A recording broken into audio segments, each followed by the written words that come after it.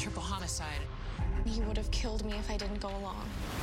They insist this whole thing was your idea. She was brutalized. So is she a suspect or a victim?